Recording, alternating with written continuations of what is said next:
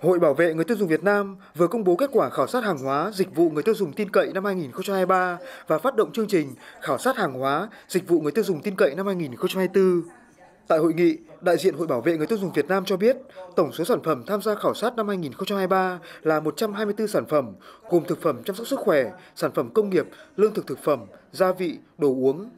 Hội đồng thẩm định kết quả khảo sát đã lựa chọn danh sách hàng hóa dịch vụ đạt top 50, top 100 do người tiêu dùng bình chọn. Chương trình này được Hội Bảo vệ người tiêu dùng Việt Nam tổ chức hàng năm nhằm khuyến khích doanh nghiệp sản xuất trong nước và doanh nghiệp có vốn đầu tư nước ngoài tại Việt Nam nâng cao năng lực cạnh tranh của sản phẩm, hàng hóa, đồng thời tẩy chay những hành vi cạnh tranh không lành mạnh, sản xuất, kinh doanh hàng giả, hàng kém chất lượng, vi phạm các quy định về chất lượng, an toàn thực phẩm, đo lường, bảo vệ quyền lợi chính đáng của người tiêu dùng và nhà sản xuất, kinh doanh, dịch vụ chân chính. Từ đó, giúp người tiêu dùng thực hiện quyền lựa chọn đối với hàng hóa, dịch vụ được đánh giá là đáng tin cậy,